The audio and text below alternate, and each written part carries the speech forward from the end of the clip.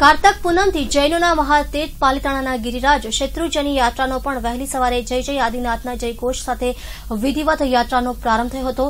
ચાર માસ, ચાતુર્માસના હોય, શાસ્ત્રો પ્રમાણે આ ચાર માસ યાત્રા માંગલિક રહેતી હોય છે, જેનો ચાતુર્માસ કરવા પાલિતાણા હજારોની સંખ્યામાં આવતા હોય છે. પરંતુ શત્રુજ યાત્રા ચાતુર્માસની પૂર્ણાહુતિ બાદ આજે કાર્તિકી પૂનમથી ચાલુ થઈ હતી.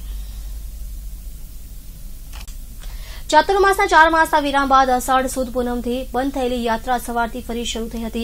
વહેલી સવારે જય જીનેન્દ્ર, જય આદિનાથના જય ઘોષ સાથે જય તળેટીથી હજારો ભાવિક ભક્તો યાત્રાનો પ્રારંભ કર્યો હતો. અહીં પ્રથમ તીર્થકર આદિનાથ ભગવાન નવસો બાણું વાર સમાસ સર્યા હતા, જે આ મહાતીર્થની પવિત્રતા દર્શાવે છે. જેમાં ચોવીસ તીર્થકારોમાંના ત્રેવીસ તીર્થકારોએ આ મહાતીર્થની ભૂમિ પરથી વિશ્વના જૈન ધર્મનો મહામંગલકારી સંદેશો આપેલ છે. આ યાત્રા દરમિયાન ભાવિકો માટે આણંદજી, કલ્યાણજી પેઢી દ્વારા ઠેર ઠેર પરબો પર અને સાદા ઉકળેલા પાણીની વ્યવસ્થા કરવામાં આવી હતી. જ્યારે યાત્રિકો માટે ભાતાઘર પણ ખુલ્લું મૂકવામાં આવ્યું હતું.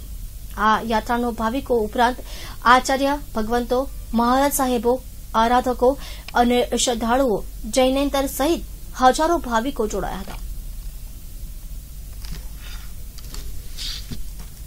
હું નગીનભાઈ મહેતા આસિસ્ટન્ટ મેનેજર શેઠ આનંદજી કલ્યાણજીની પેઢીમાંથી છું.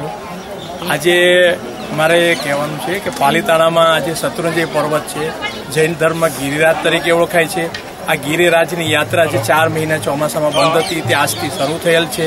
આ યાત્રામાં તમામ યાત્રાળુઓ યાત્રા કરે છે, ઉઘાડા પગે અને ઉપર કોઈ પણ પ્રકારનું ખાવા પીવાની ચીજ વસ્તુ લઈ જઈ શકાતી નથી. એમાં આજનું મહત્વ એ છે કે આજે નવ્વાણું પણ શરૂ થઈ છે. અને લગભગ છે તે છ થી સાત સંઘો આને છે તે નવ્વાણું યાત્રા કરાવી રહ્યા છે. એમાં કેટલી સંખ્યા હશે લગભગ અંદાજે? આશરે લગભગ એની ત્રણેક હજાર, ત્રણથી પાંચ હજારની વચ્ચેની સંખ્યા નવાણું યાત્રાઓની છે.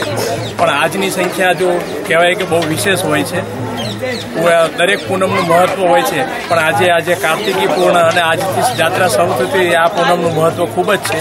આજે સવારના ચાર વાગ્યાથી યાત્રાઓ ખૂબ જ મોટી સંખ્યામાં ઉપર ગયા છે, અને આપ જોઈ રહ્યા છો કે હવે યાત્રાઓ ધીમે ધીમે પાછા આવી. કાર્તક પૂનમના દિવસે દસ કરોડ મુનિની સાથે મોક્ષ જાય.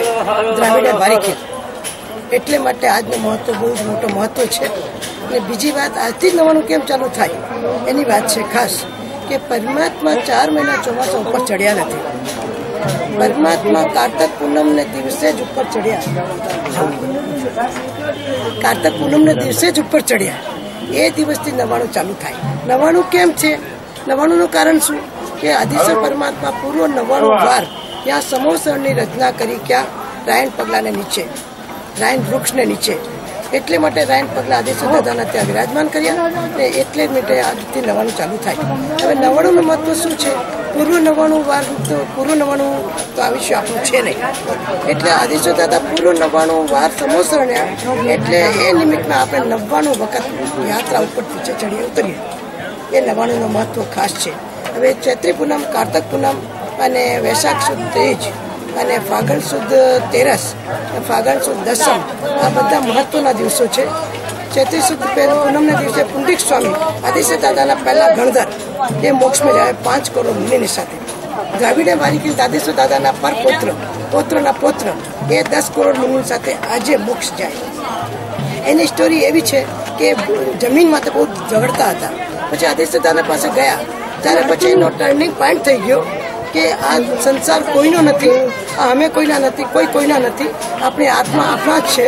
એટલે માટે આ આદિશ્વર દાદાના દ્રાવિડ વારિકની પરપોત્ર દસ કરોડ મુનિ સાથે મોક્ષે જાય ને એની માટે આજનો મહત્વ બહુ જ અગત્યનો મહત્વ છે કે આજે એક ઉપવાસ કરે, એનો દસ કરોડ ઉપવાસનો લાભ મળે. આજે એક યાત્રા કરે, દસ કરોડ યાત્રાનો લાભ મળે. એટલે માટે ખાસ આજથી ચાલુ કરે. વર્ષી તરફના પારણાવાળા હોય એ પણ કાર્તક પૂનમ ને ચૈત્રી પૂનમ જરૂર જરૂર જરૂરથી આવે આવે છે. છઠ કરીને સાત યાત્રા કાર્તક પૂનમ ને દિવસે પણ ઘણા ઘણા યાત્રા કરે. મેં મારી જિંદગીમાં છઠ કરીને સાત યાત્રા પાંચસો થી ઉપર કરી છે. એક છઠમાં સાત યાત્રા એવી પાંચસો થી વધારે છઠ કરીને સાત યાત્રા જિંદગીમાં કરી છે ને લાખો જણને કરાવી છે. એમાં અમેરિકાનો સંઘ, આફ્રિકાનો સંઘ, યુરોપનો સંઘ, ઓસ્ટ્રેલિયાનો સંઘ, જર્મનીનો સંઘ, આખો જૈન સંઘ આવી આવીને મારી પાસે યાત્રા છટકરી સાથે યાત્રા કરી છે ને ખૂબ ખૂબ આગળ કરશે. તે બધાને પ્રેરણા કરજો. મારું નામ ઉદય કુમાર વિલાલ શાહ એડવોકેટ માંડવી કચ્છનો નિવાસી છું. દર વર્ષે દર મહિનામાં બે વાર હું જાત્રા કરવા આવું છું. એમાં કાર્તિકી પૂનમને ખાસ આવું છું.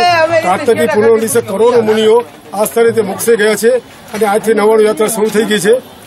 અને જે આ પાલિતાણા તીર્થ છે, એમાં ઋષભદેવ ભગવાન બાવીસો વર્ષ પહેલા થઈ ગયા છે. એ પણ ઘેટીને પાસેથી પૂર્ણ નવાનું વાર ઉપર ચડ્યા હતા. જેથી કરીને આ ક્ષેત્રજીનો પાલિતાણાનો, નવાણુંનો કાર્તિકી પૂનમનો ખૂબ જ મહિમા છે. અહીં આવવાથી આપણા પાપો નાશ થાય છે. અને ભગવાન પાસે કહીએ છીએ વારંવાર કે અહીંયા આવીએ અને અમારા પાપો નાશ થાય. આ પવિત્ર ભૂમિ છે. અહીંયા બાર બારાના જય જીનેન્દ્ર.